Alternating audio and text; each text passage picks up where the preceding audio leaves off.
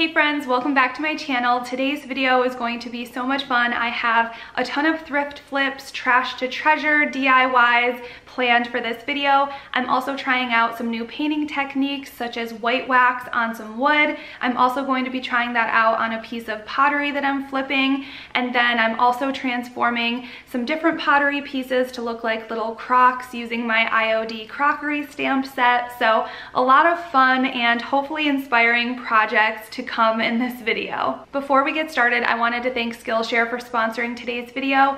Skillshare is an online learning platform with thousands of videos for curious and creative people. It is perfect for picking up some skills for weekend projects like these and so much more. Since we are moving into spring and I notoriously have a black thumb, I found a video taught by Christopher Griffin called Plants at Home, How to Uplift Your Spirit and Space. And throughout the video, I learned so many things about how to find the best places in your home for plants, as well as how to research which plants would work the best in your space. By the end of the video, I felt so empowered that even I could go out and find some house plants and really help them thrive in my home. If you would like to try out Skillshare for yourself, the first 1,000 people who use the link in my description box will receive a free trial of Skillshare Premium, and then after that, it's only about $10 a month. Thanks again Skillshare for sponsoring today's video. Now let's go ahead and get started. If you watched my last thrift haul video, then you may remember these little crocks. They were almost like a pinkish orange, really bright color.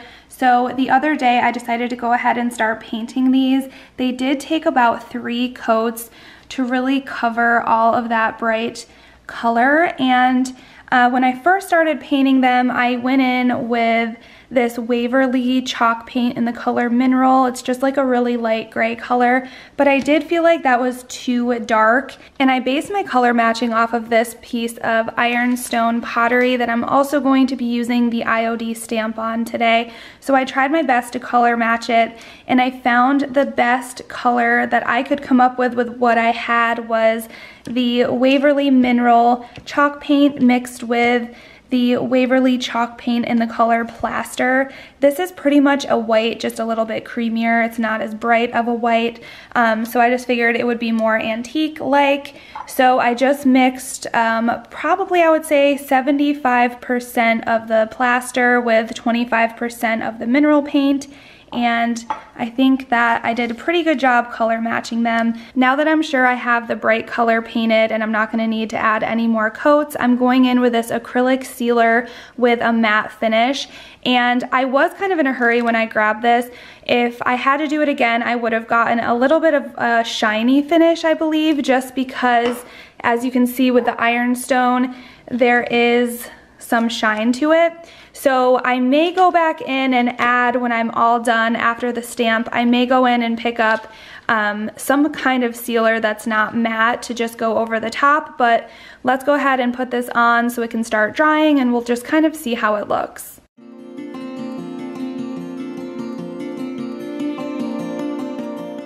I made sure to spray the sealer on the inside too, just so that if I wanted to use them to display silverware or something, the paint would not chip off.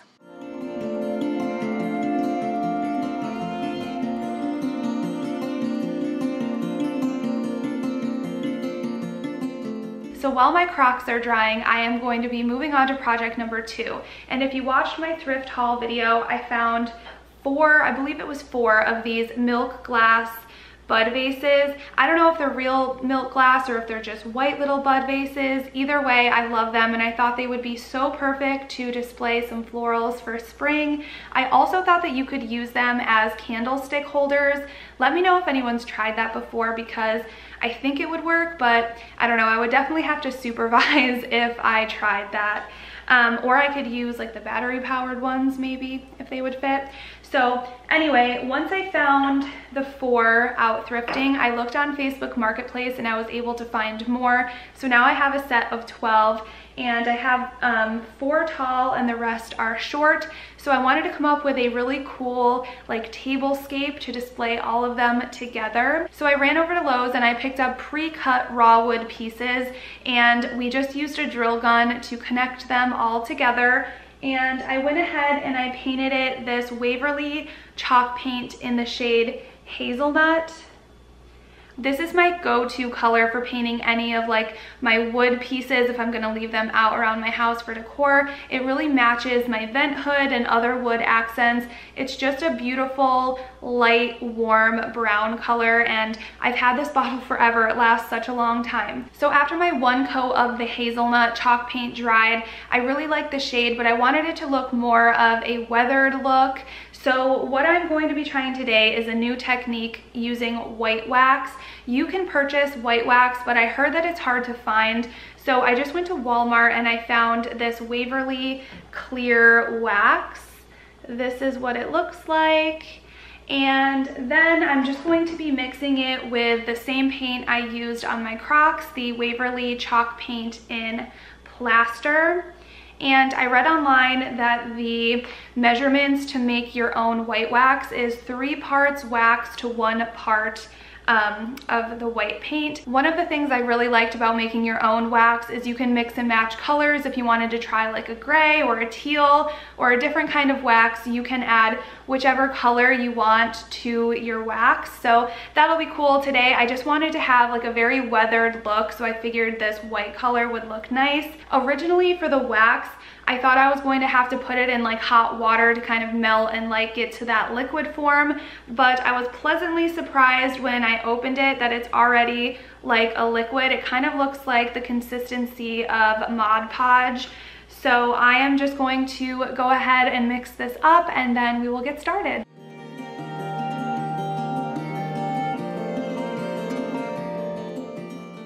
I will say a little of this stuff goes a long way, but I did decide to double the batch since I knew I was going to be using it on at least two projects.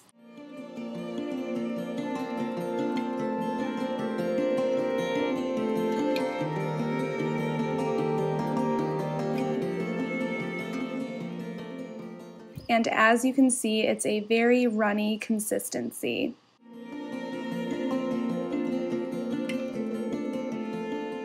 Now I'm just going to apply this all over with a paintbrush and then going back in with my rag to wipe it off.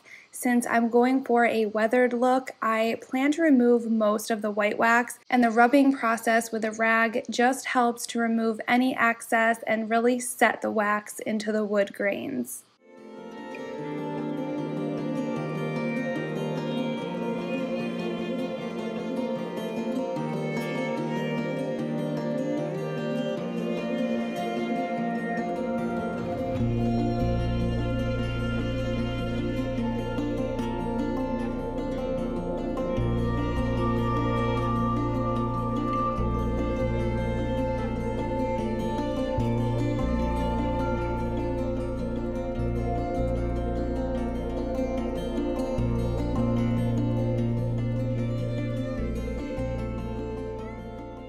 When I use this white wax technique in the future, I think rather than adding all the white wax on the piece at once and then going back to rub it off, I would rather work in sections because I noticed that the white wax, when it dried, it was harder and harder for me to remove it.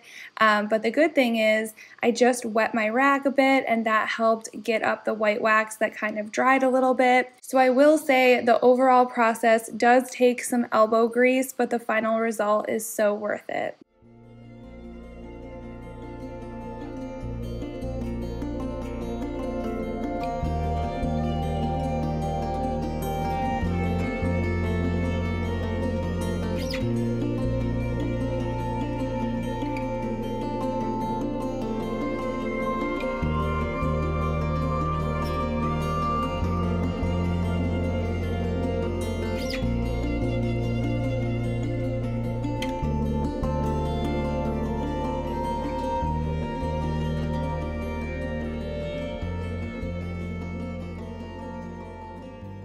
I am so happy with how this turned out. It's actually exactly what I was hoping the shade would look like.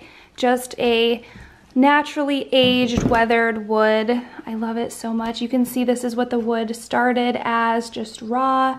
And then this is what the final product looks like. I was worried when I first started scrubbing off the white wax that I waited too long and that I should have just did it in sections um, because it was a little bit hard to wipe off in areas, but I noticed if I wet my rag, it came off a lot easier. So since I did go through a few times with a wet rag, I'm just gonna let it sit here before I add it to my table and then put the pretty bud vases in, but really happy with how it looks.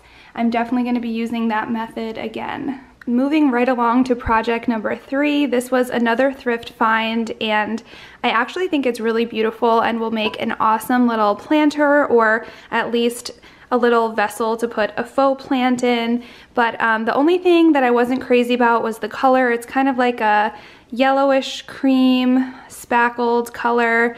Um, so what I plan on doing is using this Waverly chalk paint in mineral, the gray color, painting this thing completely in that. Not sure if it's gonna take one coat or two, but then once that is painted and dried, we are gonna go in with my leftover white wax mixture and apply it on top, dab it off, and it's supposed to give it a cement finish. So let's see how this turns out.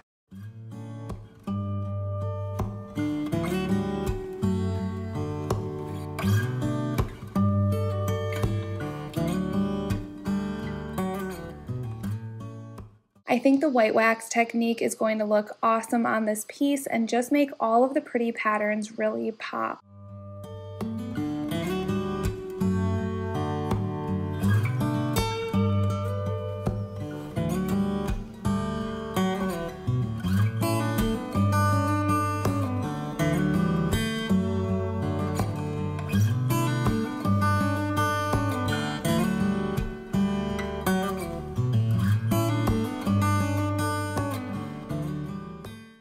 Always paint the insides of pieces that I'm redoing, even if I plan to put something inside of them. Like, for example, this one, I plan to put a faux plant, but you never know, maybe down the road I'll change my mind and want to display it differently, so I always paint the inside just in case.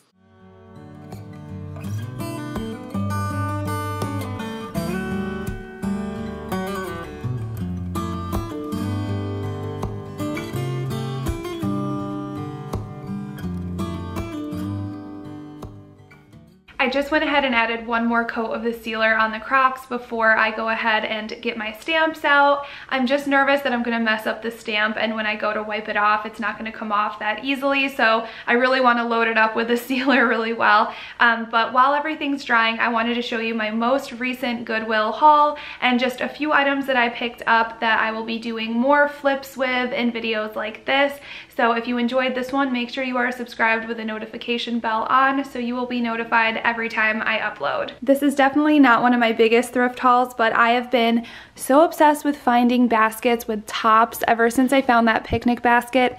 If you know what kind of basket this one is, um, I don't know if it's a picnic basket. It doesn't really look like it, but I like that it has a top. It's really clean and in good shape and this is a cute latch but what I am thinking of doing with these is kind of getting a whole bunch of different kinds of baskets with a top and stacking them and then maybe putting a plant on top. I don't know, maybe this is even like a little suitcase. I'm not sure, but um, everything at Goodwill was half off, so I got this for, let's see, it was $9.99, so I got this for five bucks. And I figure maybe if nothing else, it's something I could keep in my daughter's room and she can use it for like dress up clothes or doll clothes, something like that. You can just never go wrong with an affordable basket. And then this piece I thought was just really handy. It's this little wooden chalkboard and it's a stand, which is nice. And on the other side, is a cork board. So I thought maybe I could keep this in my kitchen somewhere. I could pin maybe like a little recipe if I cut one out of a magazine or write a cute little message on here with chalk. I don't know, it's small enough where it can fit on a shelf. It can kind of go anywhere. And this one was, let me see here, $4.99. So I got that one for half off. I'm probably not gonna do anything to flip this. I'll just keep it as is, but I thought I would have a fun time decorating with this. And then this piece is the one that I think I'm going to have some fun with. So I love peg rails and I've always been looking for one that has a little shelf on top. I also love rolling pins, so when I saw this little rolling pin, it kind of just sealed the deal for me. I had to have it. This was $10, I got it for five, and I figured it would be a really fun flip DIY.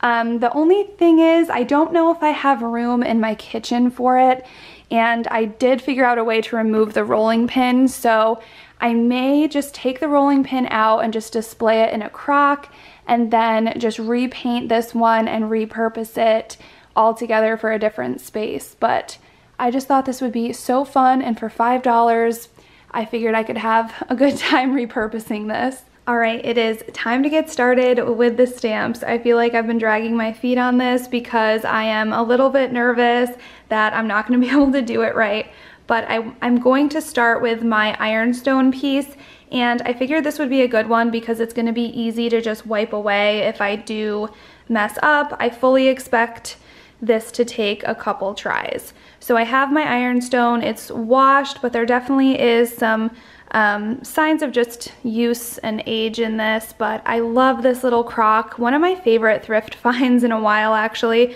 I forgot what I paid for it. I wanna say like three, two to three dollars. Um, and then here are all of the different stamp options. They are flexible, which is great if you're using like little rounded pottery pieces, but I am kind of nervous how I'm going to stamp that. But yeah, we'll see. I'm just gonna try it out and we will learn together. So I'm trying to figure out which one I wanna do. Probably this one. I'm thinking this one.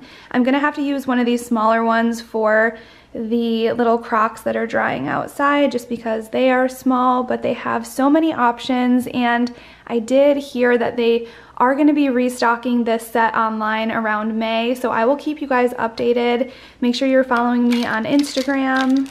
I guess it kind of just peels off like this.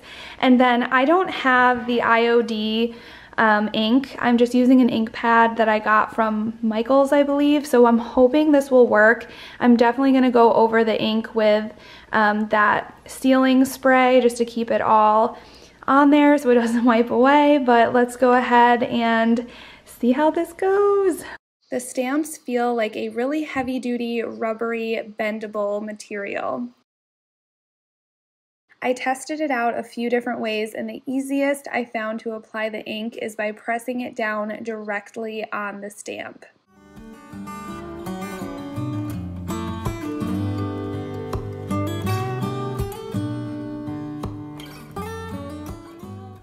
The first stamp I chose ended up being a bit big for my piece and I also smudged it.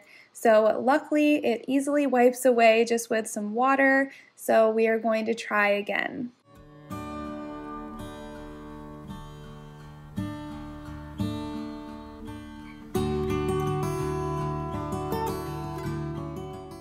This next try, I focused on setting it in the middle first and then trying to use my fingers to press it down.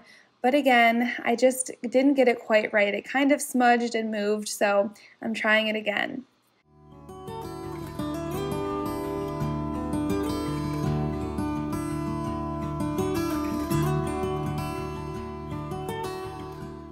All right, so after I did my first one, I will say that practice makes perfect and I do think I picked one of the hardest items to start with.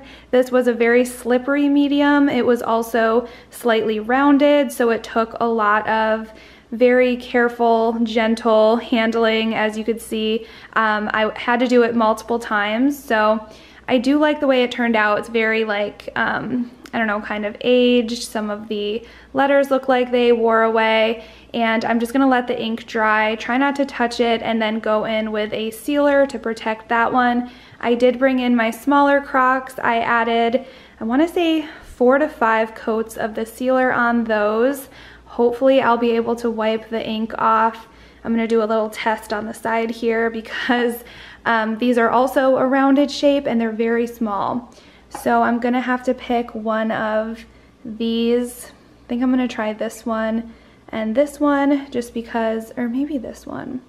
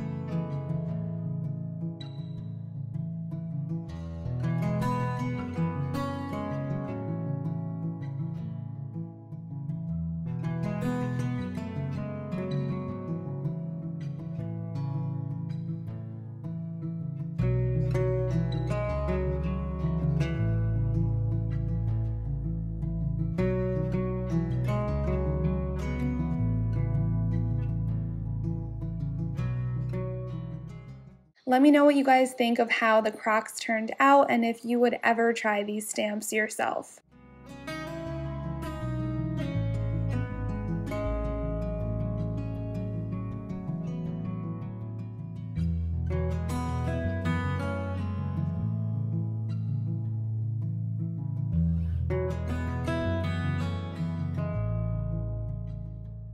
I went and grabbed this air dry clay because I have this with flat edges that I think would be really cool to try out with one of these stamps in the clay. So let's see if that's any easier and how it turns out.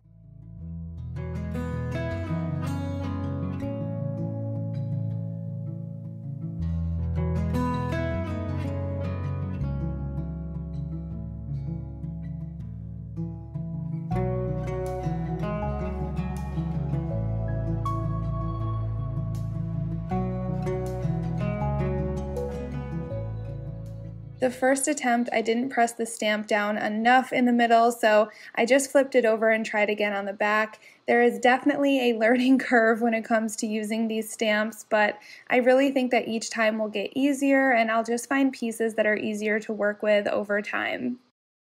I decided to use my box cutter to just cut around the label and I just barely used any pressure to do this part.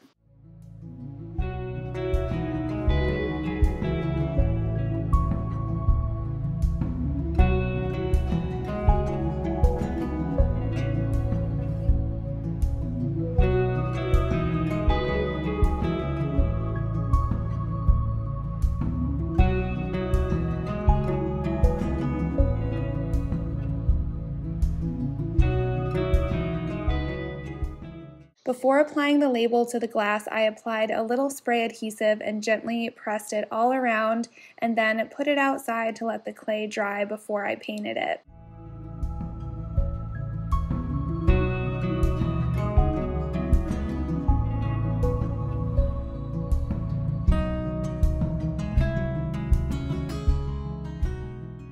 Here is my ceramic planter. I did go in and add another coat. So this is two coats of the gray mineral chalk paint. And then I'm just going to be reusing the same mixture from earlier that I used on my wood piece. This is the white wax.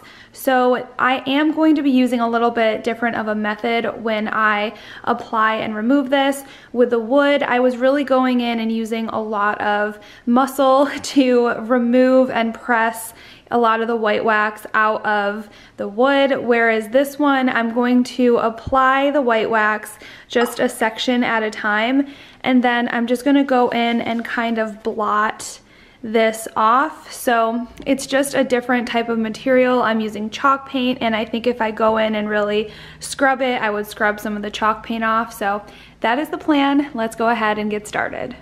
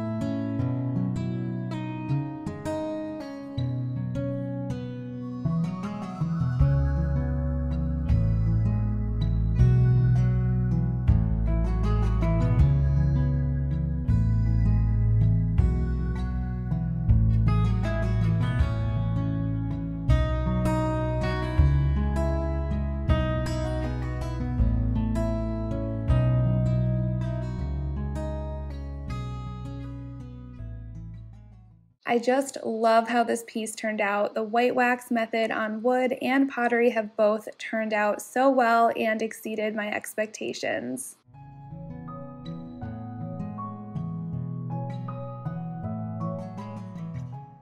Now that the wood piece is dry, I'm going to put the tablescape together. I have been so excited just to see my vision come to life and just see how it's going to all look. Baby's Breath just seemed like a timeless floral to add to the bud vases and really gave that vintage feel.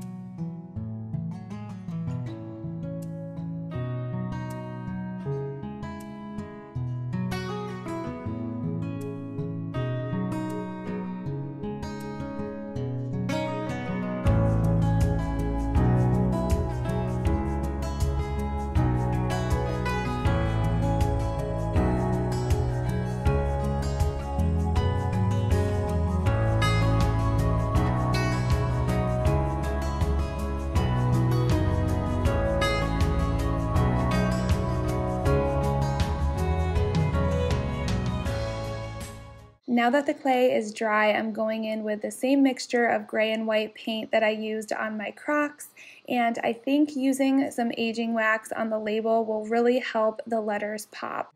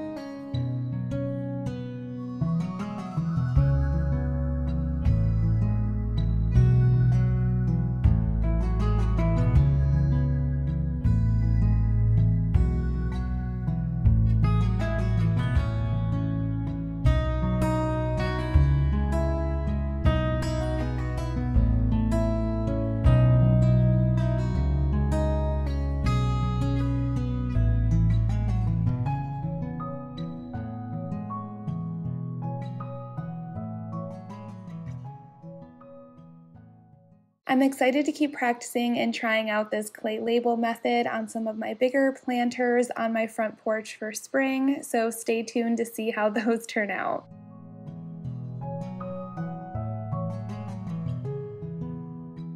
Make sure you let me know which DIY was your favorite for this video and if there are any that you plan to try yourself. As always, thank you so much for watching. Make sure to give this video a thumbs up and that you are subscribed and I will see you in my next one. Have a great day.